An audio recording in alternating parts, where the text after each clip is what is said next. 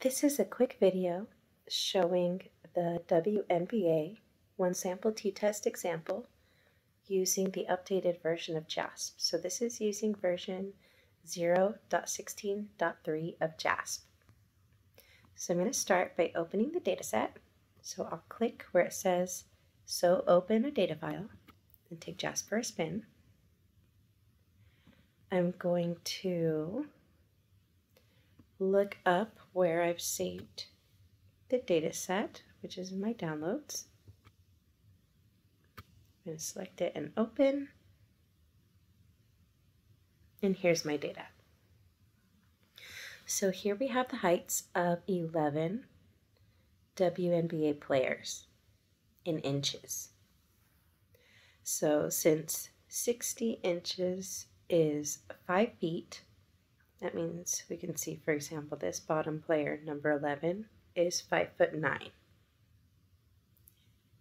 Uh, this first player is 6 foot. 72 inches is 6 feet tall. Okay, so here we have 11 heights. So we're going to do a one sample t-test and we want to test against the heights of all women in the US. And we know from the problem that the average height, the mean height for all women in the US, that population distribution is approximately normally distributed with a mean of 64.8 inches. So we want to see whether this sample of WNBA players is significantly different in terms of height from the general population of US women. So we want to compare against the value that we have, 64.8 inches. so we'll come over here to our JASP and we want to use the t-test menu. So select it. We're using the classical options in this class and we'll be using for this problem the one sample t-test. Now the reason this is a one sample t-test is because we only have one sample, right? We have one sample of 11 players, and we're comparing this one sample against a known population mean of 64.8. So we'll go to our one sample t-test. We only have the one variable here that we're interested in, right? So we're going to move inches, height in inches to our variables box. And we need to do one more thing here. So we need to come down to where it says test value.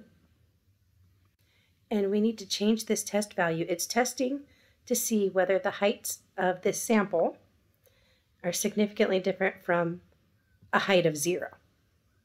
So we need to change this to match what we have from our problem, 64.8. So instead of zero, we will put 64.8. And I'll go ahead and make this larger. And when we do that, you'll see the numbers update here. And we see our t value is 7.973. We have 10 degrees of freedom because we had a sample size of 11. And 11 minus 1 is 10. And our p-value is less than 0.001.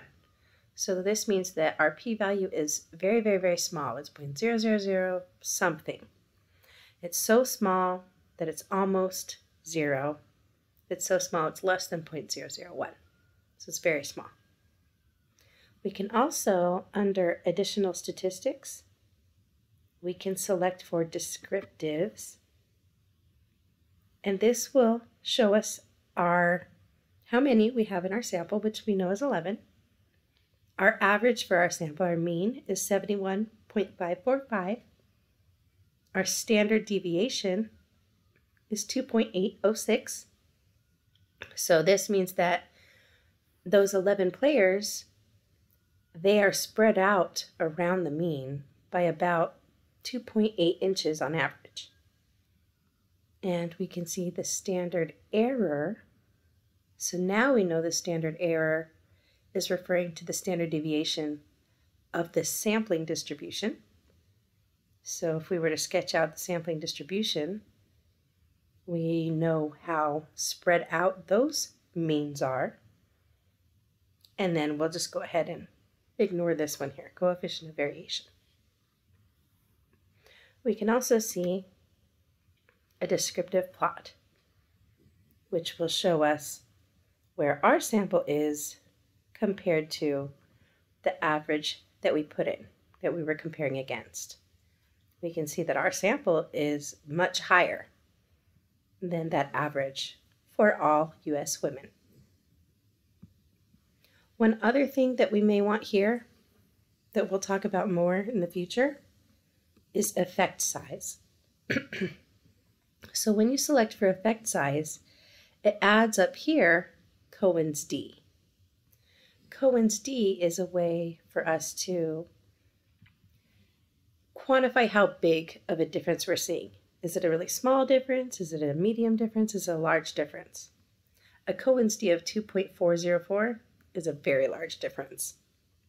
So we would say that based on this sample of randomly selected WNBA players, uh, based on this randomly selected sample, uh, we conclude that the heights of WNBA players are significantly much higher, much taller than US women in general.